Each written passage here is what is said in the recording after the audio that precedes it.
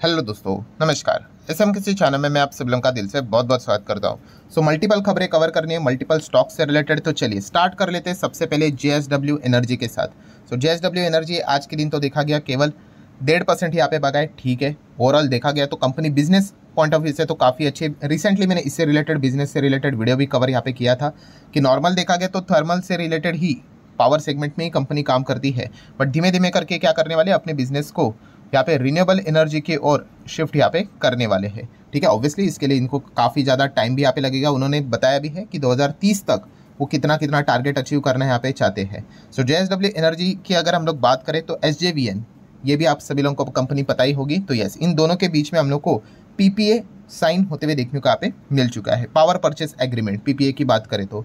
सो so definitely इसी चीज़ के चलते हम लोग को ये परफॉर्मेंस अच्छा खासा देखने को यहाँ पे मिल रहा है। अगर हम लोग बात करें तो ये जो प्रोजेक्ट है वो हम लोग को राजस्थान में फ़िलहाल तो देखने को मिल रहा है। एंड इस प्रोजेक्ट की अगर बात करें तो लगभग 24 मंथ का ये प्रोजेक्ट हम लोग को फ़िलहाल तो देखने को यहाँ पे मिल रहा है। एंड इस चीज़ के चलते जो आउटकम निकल कर आएगा वो somewhere around 3.5 gigawatt solar capacity से रिलेटेड डेटा हम लोग को देखने को मिल जाएगा। सो so, ओवरऑल अगर हम लोग बात करें यहाँ पे definitely J energy business point of view से एक काफ़ी अच्छा बिज़नेस हम लोग को देखने को मिल जाता है। अगर आप रिन्यूएबल एनर्जी के ऊपर ज़्यादा फोकस रखते होंगे तो नेक्स्ट बात करेंगे दोस्तों तो उनो मिंडा यस उनो मिंडा की बात करें, आज के दिन भी आप देख सकते हो, साढ़े चार परसेंट या फिर पौने पाँच परसेंट के आसपास भागते हुए देखने को यहाँ पे मिल चुका है। ठीक है उनो मिंडा की कहानी में हम लोग, मैं हमेशा आप लोगों को बार बार यहाँ पे इसीलिए रिपीटेडली बताते यहाँ पे रहता हूँ। मतलब आप देख सकते हैं, अभी पाँच साल का डेटा आपको कैसा नज़र आएगा? छः सौ परसेंट, साढ़े छः सौ परसेंट। ठीक है? बट ये ऐसे ही रिटर्न्स नहीं बनते। इसके पहले मल्टीपल टाइम ये कंपनियाँ यहाँ पे क्रैश यहाँ पे हो चुकी है, ठीक है? दस दस साल से ज़्यादा यहाँ पे हम लोगों ने इसको यहाँ पे एटलीस्ट मैंने तो यहाँ पे इसको होल्ड यहाँ पे करके रखा हुआ है, क्योंकि बिज़नेस अच्छा लगा था। एंड जैसे कि आपको पता है, दस साल में कोविड भी आ गया बड़ी बड़ी चीज़ें आ गई कंपनी चालीस पचास परसेंट तक क्रैश हो गया। ये मैं बार बार आपको इसीलिए हाईलाइट करके बताता हूँ, क्योंकि अगर आप किसी भी कंपनी को, किसी भी शेयर को लॉन्ग टर्म होल्ड करने की बात यहाँ पे कर रहे हो एंड उसके पीछे अगर आपका बाइंग रीज़न बिज़नेस नहीं है तो फिर वो लॉन्ग टर्म होल्डिंग नहीं होगी। क्यों? क्योंकि जब वो गिरेगा, तब आप वहाँ पे क्या करना है, ये आपको समझ में नहीं आएगा। क्योंकि आज नहीं तो कल हर कोई स्टॉक गिरने वाला है। अगर आप कह रहे हो ना, काफ़ी लोगों के कमेंट भी आते हैं, सर, ये स्टॉक मैं दस साल होल्ड करना चाहता हूँ, पंद्रह साल, बीस साल की भी बातें करते बहुत अच्छी बात है भाई। बट अगर आप बिना बिज़नेस देखकर, अगर यहाँ पे किसी भी स्टॉक में रैंडमली चले जाओगे तो फिर वो मुश्किल होने वाला है। क्योंकि एक बहुत आपकी टफ एग्ज़ाम ली जाएगी लंबी अवधि में।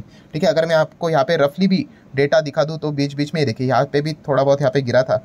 कितना गिरा था रफली अगर मैं चेक भी कर लूँ तो तीस चालीस परसेंट ये तो मैंने ऐसे नॉर्मल ही कैलकुलेट किया है। अगर आप प्रॉपरली कैलकुलेट करोगे तो तीस परसेंट पैंतीस परसेंट चालीस परसेंट लगातार कंसोलिडेट यहाँ पे करना, ये काफ़ी चीज़ें देखने को मिलेगी। तो वो मेंटली प्रिपेयर आपको रहना, यहाँ पे आना चाहिए। और इसके ऊपर मैंने काफ़ी लेक्चर्स ऑलरेडी कवर यहाँ पे कर दिए। जो हमारा दूसरा channel free stock market classes कौन सा? हाँ वो पाँच चक्र वाला। ठीक है, वो आपको हजम करना ही पड़ेगा भाई, वो बात। ठीक है, अगर आप सिर्फ़ वीडियो को देखकर अगर सुनकर मतलब छोड़ रहे होंगे तो फिर कोई फ़ायदा नहीं भाई। उसको इम्प्लीमेंट भी करना है। टाइम लगता है इन चीज़ों को। ठीक है, पाँच चक्र मतलब क्या, आप आज भी, अभी भी कह रहा हूँ राइट नाउ आपके और मेरे पोर्टफोलियो में जो शेयर है ना, वो भविष्य में ज़बरदस्त यहाँ पे कभी ना कभी ज़रूर गिरेंगे। ठीक है तो गिरावट से डरना नहीं होता है। गिरावट किस वजह से होती है, वो जानना इंपॉर्टेंट है। ये मैंने कितनी बार आपको समझाया, क्योंकि मार्केट का नेचर है भाई, वो तेज़ी दिखाएगा। कंसोलिडेशन दिखाएगा एक्सट्रीम तेज़ी दिखाएगा, गिरावट दिखाएगा एक्सट्रीम गिरावट दिखाएगा। और इन पाँच सिनेरियो में अगर देखा गया यूजुअली हम लोग को क्या करना होता है, गिरावट को ही मैनेज करना होता है कि भाई तू क्यों गिर रहा है, वो बता दे। हाँ नॉर्मल पूरा बाज़ार गिर रहा है, इसलिए गिर रहा है। ठीक है भाई, क्या ही कर सकते हैं। ठीक है, हर किसी के घर में हम लोग को देखने के, गिरावट ही देखने को मिल रही है। ठीक है, पूरा सेक्टर गिर रहा है, ठीक है भाई, होता है। आईटी सेक्टर देखिए केमिकल देखिए फार्मा देखिए, ठीक है, पूरा सेक्टर गिरा है तो तुम भी गिरोगे। ठीक है, तुम कौन से अलग से तोप हो करके, ठीक है तो रिकवरी होगी तो तुम भी रिकवर कर जाओगे, ठीक है तो ये इस प्रकार की चीज़ें देखना काफ़ी इंपॉर्टेंट यहाँ पे रहता है। ये बोरिंग चीज़ें नहीं करोगे तो फिर कैसा होगा फिर, ठीक है तो जब तक बाज़ार मज़े कर रहा है, यहाँ पे ज़बरदस्त यहाँ पे भाग रहा है, तब तक बने रहोगे तो ये थियोरी भी आप लोगों को अच्छी तरीके से समझ में यहाँ पे आना चाहिए। नेक्स्ट अगर हम लोग यहाँ पे बात करेंगे, आगे बढ़ लेते हैं, दीपक नाइट्राइट से रिलेटेड तो दीपक नाइट्राइट भी बिज़नेस पॉइंट ऑफ़ व्यू से अगर देखा गया, काफ़ी अच्छी कंपनी केमिकल सेगमेंट में जुड़ी है भाई तो केमिकल सेगमेंट में तो काफ़ी अच्छे रिटर्न बने थे, उसके बाद डाउन साइकिल तो कभी ना कभी आते ही रहेगा। कोई टेलीग्राम नहीं आने वाले आपको कि भाई, मैं अभी डाउन साइकिल में यहाँ पे जाने वाला हूँ करके। ऐसा कुछ नहीं, कुछ ना कुछ बहाने बाज़ार में चलते रहते हैं। ठीक है, इतना ज़्यादा माथापोड़ी नहीं करने का मैंने काफ़ी बार आप लोगों को यहाँ पे बताया। बहुत सिंपल रखने का मार्केट को, ठीक है बिज़नेस देखने का। बिज़नेस अच्छा लगता है तो उसको खरीदने से रिलेटेड विचार करने का, ठीक है, और लंबी अवधि के लिए होल्ड करके बैठ जाने का। वो कब भागेगा हमें नहीं पता, ठीक है बट जब भागेगा, काफ़ी अच्छे रिटर्न बन जाते हैं। उनो मिंडा भी दो दो तीन तीन साल बीच में बिल्कुल भी नहीं भागा था, ऐसा डेड था, ऐसा। ठीक है? बट जब भागा तो रिटर्न बन गए। ठीक है मार्केट भी आप इंडेक्स लेवल पे देखो ना, अठारह हज़ार पे हम लोग कितने सालों तक अटके हुए थे? एंड अभी चौबीस, कितना इजीली मतलब फट फट फट फट चला गया। अभी तो वो पच्चीस की भी बात स्टार्ट हो गई। तो ये चीज़ें रहती, तेज़ी में पता ही नहीं चलता है कि कितना फास्ट रिकवरी हो रहा है। ठीक है बट वो जैसे मैं बोलता हूँ ना 250 डेज़ में से 230 दिन पिटाई होती है। फिक्स फॉर्मूला नहीं भाई, मैं एवरेज डेटा बता रहा हूँ। बट जब तेज़ी आती है, तेज़ी मतलब क्या ये जो बीस दिन अभी आप देख रहे हो ना कैसे देखिए, इतना फास्ट होता है मार्केट क्या? ऑटोमेटिकली जितना भी गिरावट वाला बोरिंग चीज़ें जो थी, उसको वो ओवरकम कर लेता है। इसलिए बाज़ार लेफ़्ट टू राइट ऊपर जाता है बट काफ़ी लिमिटेड टाइम के लिए ही तेज़ी रहेगी। ठीक है तो उस चीज़ के लिए क्या करना पड़ता है? आपको एक गिरावट वाले दिनों में टिकना यहाँ पे आना चाहिए। ठीक है टफ डिलीवरीज आएँगी वहाँ पे आपको खेलना पड़ेगा ठीक है? पिच छोड़ने का नहीं होता है। सो so, दीपक नाइट्रेट की भी अगर बात करें आज के दिन तो जितने भी केमिकल कंपनी है उसमें अच्छी खासी बाइंग देखने को मिले ठीक है? चलता रहता है। इस कंपनी ने भी लॉन्ग टर्म में अच्छे रिटर्न दिया आप देख सकते हो सात परसेंट से ज़्यादा के रिटर्न है ठीक है? पास्ट रिकॉर्ड हो गया। उसके बाद देखिए ये तो कंसोलिडेशन तो मतलब गिरावट होगी कंसोलिडेशन फ़ेज़ स्टार्ट हो जाएगा ठीक है? तो ये तो चीज़ें यहाँ पे चलने ही वाली है। नेक्स्ट अगर हम लोग यहाँ पे बात करेंगे दोस्तों तो यहाँ पे जे बोले तो गार्डन रिच शिप बिल्डर्स ठीक है? अभी माजगा डॉग बहुत अच्छा यहाँ पे कर रहा था। ठीक है? देन कोचिन शिपयार्ड भी बहुत अच्छा कर रहा था। मतलब इंडियन नेवी से रिलेटेड जो जुड़े हुए स्टॉक्स है अभी जे भी काफ़ी अच्छा यहाँ पे काम कर रहा है। सो so, भी आप देख सकते हैं आज के दिन 10 परसेंट का सर्किट लगते हुए देखने को यहाँ पे मिल चुका है। साल भर में ये भी कंपनी 300 परसेंट पाँच साल एकदम रॉकेट की तरह चलती हुई देखने को मिल रही सरकार से जुड़ी हुई कंपनी डिफेंस सेगमेंट से ये कंपनियाँ काम करती है और इक्कीस मिलियन डॉलर का इनको ऑर्डर मिल चुका है। बट ये ऑर्डर सिर्फ़ इक्कीस मिलियन डॉलर का कंसिडर मत करना। ये एक बहुत बड़ी मतलब बोलते हैं ना, एक बोलते हैं ना, संकेत देता है मार्केट आपको। संकेत देना मतलब क्या है कि पहले तो ये ऑर्डर कहाँ से मिला? ये हमारे भारत देश से ऑर्डर नहीं है दोस्तों। ये बांग्लादेश नेवी के और से इनकी डील साइन होते हुए देखने को आप मिल चुकी है। सो आप अंदाज़ा लगे यस मतलब आप इसको एक्सपोर्ट टाइप भी कंसिडर कर सकते हो। सो आप एक्सपोर्ट करने के लिए जाओगे इस प्रकार की चीज़ें तो आपके लिए तो कितना बड़ा, दुनिया तो कितनी बड़ी है। ठीक है? मैं एचएल से रिलेटेड भी ये वीडियो बार बार कवर करते रहता हूँ। एच में मैंने क्या बोला है आपको कि एच के लिए वो सब, दिन सबसे बड़ा दिन होगा जब एचएल अपना फाइटर जेट एक्सपोर्ट करना स्टार्ट करेगा ठीक है? तो ये जो चीज़ें रहती है वो मतलब आपके लिए दुनिया मतलब कितना ग्रोथ का अपॉर्चुनिटी रहता है। तो यही चीज़ हम लोग को देखने को मिल चुकी है somewhere around 800 ton ocean going जो टग देखने को मिल जाता है उससे रिलेटेड हम लोग के डील होते हुए देखने को मिल चुके हैं। किसके साथ? बांग्लादेश मतलब बांग्लादेश ने भी मतलब बांग्लादेश गवर्नमेंट के साथ।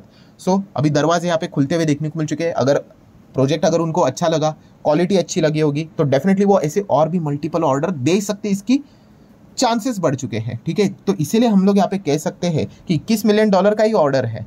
बट जो ये बात यहाँ पे दिखाई गई है, ये काफ़ी ज़बरदस्त देखने को यहाँ पे मिल रही है कि अभी विदेश में भी ये सारी चीज़ें हम लोग को होते हुए देखने को यहाँ पे मिल सकती है। एंड अगर हम लोग ऑर्डर की बात करें तो ये भी ऑर्डर दो साल के अंदर अंदर मतलब 24 मंथ का टाइम पीरियड यहाँ पे दिया है, वो कंप्लीट यहाँ पे हो जाएगा। नेक्स्ट अगर हम लोग यहाँ पे बात करेंगे दोस्तों तो नेवी की बात होती है देन उसी के साथ साथ मतलब शिप्स की बात होती है एयरक्राफ्ट कैरियर की बात होती है फाइटर जेट्स की भी बात होती है। टैंक की अगर हम लोग बात करें तो इससे रिलेटेड बी ई एल के स्टॉक के लिए एक अच्छी खबर हम लोग को देखने को यहाँ मिल चुकी है। So three one seven two crore का हम लोग को ऑर्डर बी ई एल को मिलते हुए देखने को मिल चुका है। टैंक से रिलेटेड क्या करेंगे ये? तो टैंक को अपग्रेड करना है भाई। ठीक है? तो ऐसा नहीं होता है कि एक बार यहाँ पे चीज़ें बना ली मतलब काम हो गया। नहीं, मैंने ये ये सारी चीज़, आप मेरा पुराना वीडियो देख लेना एचएल वाला। सो एच एल मैंने आप लोगों को क्या बताया था कि ये फाइटर जेट्स बनाते भी है एंड उसका repairing maintenance overhauling time to time करना पड़ता है भाई, उससे भी ये भरपूर पैसा कमाते हैं।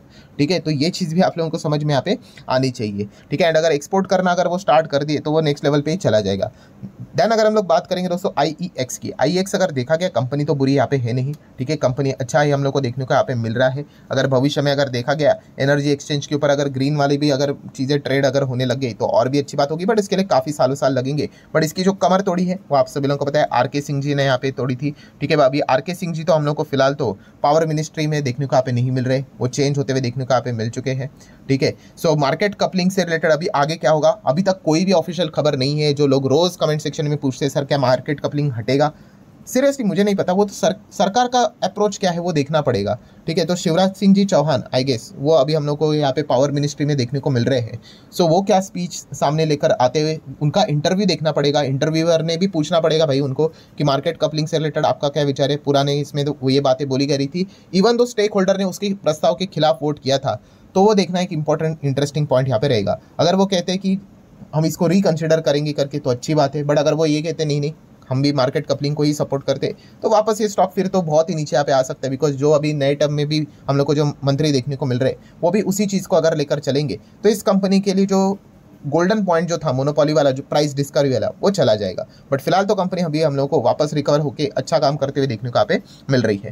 दैन दोस्तों, आखिरी पॉइंट की बात करेंगे तो इफ़ बट वाला पॉइंट है। इफ़ बट मतलब अगर ऐसा हुआ तो ही वो चीज़ें हम लोग को देखने को मिलेगी। अगर मगर मतलब क्या, जियो फाइनेंस एंड जोमेटो, इनके लिए अच्छी खबर हम लोग को देखने को मिल सकती है। मतलब अभी रिपोर्ट के ज़रिए खबर यहाँ पे सामने आ रही है दोस्तों, जो कि आप सभी लोगों को पता है डेरिवेटिव सेगमेंट में हम लोग को चेंजेस होते हुए देखने को मिलेंगे। कोई ना कोई ऐड होगा, कोई ना कोई लेस किया यहाँ पे जाएगा। तो यहाँ पे फ़िलहाल तो यहाँ पे बताया जा रहा है दोस्तों कि Jio financial services and Zomato ये शायद से शायद से कुड डेरिवेटिव में ऐड हो सकते हैं। एंड अगर वो डेरिवेटिव में ऐड हुए फ्यूचर एंड ऑप्शन में ऐड हुए तो निफ्टी फिफ्टी के भी बहुत स्ट्रॉन्ग दावेदार है जो कि निफ्टी फिफ्टी में एंट्री भी मार सकते हैं। क्योंकि अगर देखा गया छः क्राइटेरिया रहते हैं निफ्टी फिफ्टी में आने के लिए ये पाँच फुलफिल कर रहे हैं। एक नहीं कर रहे कौन सा? वही डेरिवेटिव वाला। सो so, अगर ये डेरिवेटिव में आ गए जे एंड जोमेटो तो निफ्टी फिफ्टी में ही उनके ही आने के चांसेस काफ़ी ज़्यादा यहाँ पे बढ़ रहे हैं। तो इससे अच्छी बात क्या होती है? बिज़नेस लेवल पे तो कोई चेंज नहीं होगा। बिज़नेस तो जैसा कर रहे वैसा ही है। हाँ बट इसमें अच्छी बात ये होगी कि इंडेक्स लेवल पे जो पैसा जो जाता है ठीक है वो इन स्टॉक्स में हम लोग को यहाँ पे शिफ्ट होते हुए देखने को यहाँ पे मिल सकता है, ठीक है? तो इन्फ्लुएंस बढ़ेंगे तो थोड़ा बहुत तेज़ी यहाँ पे आ जाती है, ठीक है? तो इससे हम लोगों ने एज अ इन्वेस्टमेंट के हिसाब से डिसीज़न नहीं लेने होते हैं, ठीक है? बट ओवरऑल अगर देखा गया तो एक अच्छा माहौल बनते हुए देखने को मिल जाता है। तो ठीक है दोस्तों, जितने इंपॉर्टेंट पॉइंट्स है, सारे यहाँ पे कवर कर ले। वीडियो हेल्पफुल लगा तो चाहो तो लाइक एंड शेयर कर सकते हो। मिलते हैं नेक्स्ट वीडियो में, तब तक के लिए बाय